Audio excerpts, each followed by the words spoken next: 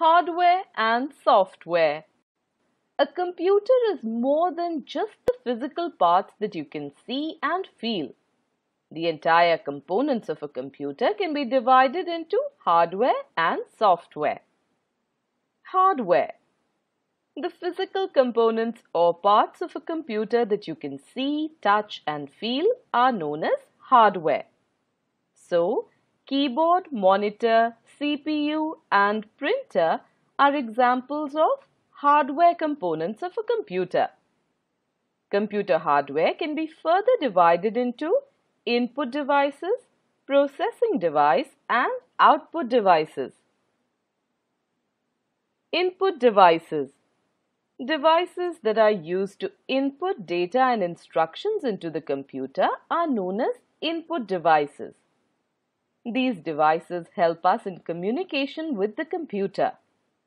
Keyboard and mouse are two of the most commonly used input devices. Other examples of input devices are scanner, microphone, joystick, webcam, etc. Processing device. A device that processes the data given by the user is known as processing device or processor.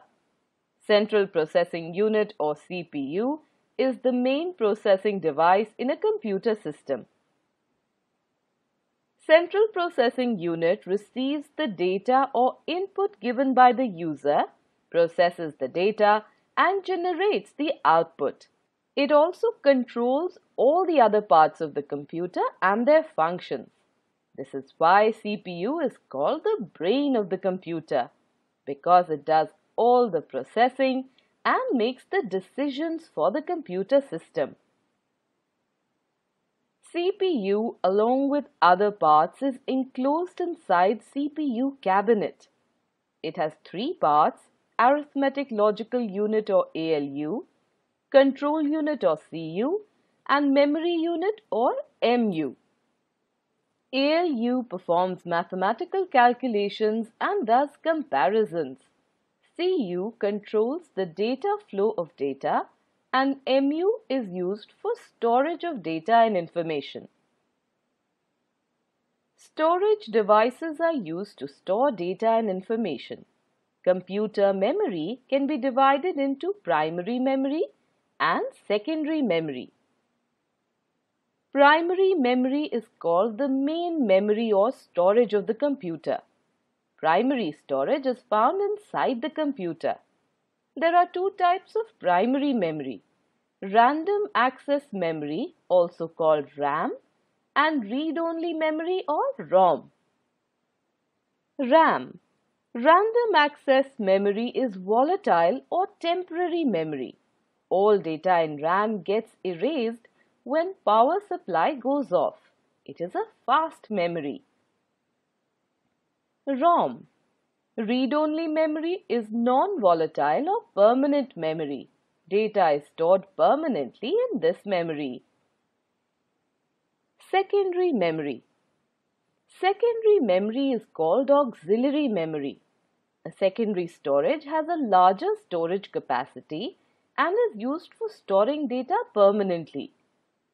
Examples of secondary memory are hard disk, flash drive, SD card, CD-ROM, DVD, floppy, etc. Hard disk. Hard disk is the main permanent storage device of a computer. It is an internal storage device. It can be divided into many parts known as drives. Floppy. Floppy is an old external storage device. It stores very small amount of data, so we don't use it anymore. Flash drive. Flash drive is also known as pen drive as it looks like a small pen. It is very popular as it can store a large amount of data like movies, games, music, etc. and also be carried around in your pocket. CD and DVD. CD stands for compact disc. It is circular in shape. It can be used to store data, music and games. DVD stands for digital video disc or digital versatile disk. It is a type of compact disk. It can store a large amount of data like movies, software and large files. Output devices. Devices that are used to display the processed information or output are known as output devices. Most of the output given by a computer is in the form of text, audio or video. Monitor, speaker and printer are some common examples of output devices. Software Applications and programs that help the computer system to perform any tasks are known as software. You can buy the fanciest car, but is it of any use if nobody knows how to drive it? No. Just like a car needs someone to drive it, a computer needs software. Computer hardware cannot function without software. You cannot touch or feel the software. You can only see the software running on the computer system. Computer software can be divided into system software and application software. System software Software that controls and manages the working of a computer is called system software. A computer system will not function properly without system software. It is pre-installed on the computer and acts as a base for other software. An example of system software is operating system. Operating system prepares the computer to run our commands and instructions.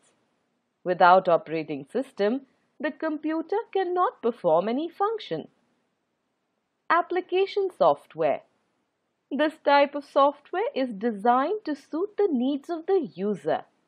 Depending upon its usage, application software can be divided into two types, general purpose software and special purpose software.